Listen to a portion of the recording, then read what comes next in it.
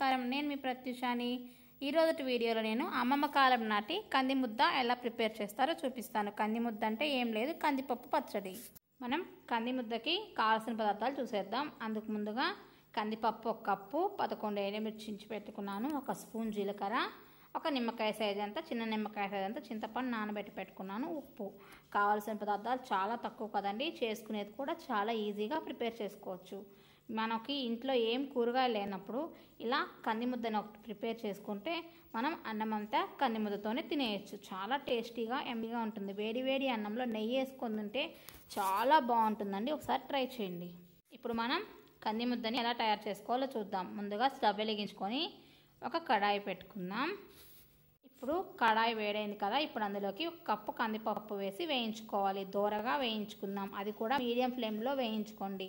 మరి మాడిపోకూడదు అలాగని వేయకుండా ఉండకూడదు. మనకి కందిపప్పు వేగేటప్పుడు ఒక మంచి సువాసన అనేది వస్తుంది. అప్పుడు మనకి కందిపప్పు వేగినట్టు. ఇప్పుడు కందిపప్పు వేగిపోయింది. అప్పుడు ఇప్పుడు అందులోకి ఎండుమిర్చి వేసుకుంటున్నాను. అలాగే ఒక స్పూన్ జీలకర్ర వేసి వేయించుకుంటున్నాను. ఇవన్నీ నేను డ్రై రోస్ట్ చేస్తున్నానండి. చూసారు కదా మనకి వేగిపోయాయి. ఇప్పుడు స్టవ్ ఆఫ్ చేసుకొని చల్లార్చుకుందాం. ఇప్పుడు మనకి కందిపప్పు అనేది చల్లారిపోయింది. ఇప్పుడు ఒక మిక్సీ జార్ తీసుకొని అందులోకి ఈ కందిపప్పు ఎండుమిర్చి జీలకర్ర వేసేసుకుందాం. ఇప్పుడు ఇలా కొంచెం బరగ్గా మిక్సీ పట్టుకున్నాక నానబెట్టుకున్న చింతపండు కొన్ని వాటర్ యాడ్ చేసుకొని మిక్సీ పట్టుకుందాం. ఇలా మిక్సీ పట్టుకుంటే సరిపోతుంది. నేను మరీ బరగ్గా కాకుండా మరీ మెత్తగా కాకుండా మీడియంగా మిక్సీ పట్టుకున్నాను. ఇలా పట్టుకున్నాక మనం తిరగమాత పెట్టుకుందాం. ఇప్పుడు స్టవ్ వెలిగించుకొని ఒక కడాయి పెట్టుకుందాం. ఇప్పుడు కడా హీట్ అయింది కదా అందులోకి మనం ఆయిల్ వేసుకొని హీట్ చేసుకుందాం. ఇప్పుడు ఆయిల్ కాగింది కదా అందులోకి ఆవాలు కొంచెం మినప్పప్పు ఎండుమిర్చి కరివేపాకు వేసుకొని వేయించుకోవాలి.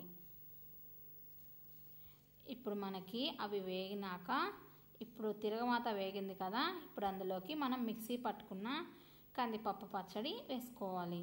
ఇలా వేసుకొని మిక్స్ చేసుకుంటే సరిపోతుంది. మనకి కందిపప్పు పచ్చడి మొత్తం ఆయిల్ అంతా అబ్జర్వ్ చేసుకునేది కదా.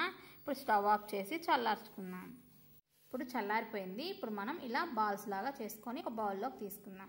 ఇప్పుడు మనం ఇలా చేసుకోవడం వల్ల మనం అన్నం తినేటప్పుడు ఒక ముద్ద వేసుకుంటే కంది ముద్ద సరిపోతుంది.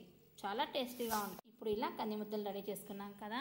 ఇప్పుడు మనం వేడి వేడి అన్నంలో కందిముద్ద వేసుకొని నెయ్యి వేసుకొని తింటే చాలా టేస్టీగా ఎమ్మీగా ఉంటుంది. చూసారు కదా? మరి ఎందుకంటే లేట్? నా ఛానల్ ఫస్ట్ టైం కానీ చూస్తున్నట్టయితే సబ్స్క్రైబ్ చేసుకోండి. అలాగే లైక్ చేయండి షేర్ చేయండి. కామెంట్ బాక్స్లో కామెంట్ చేయండి. Bye friends take care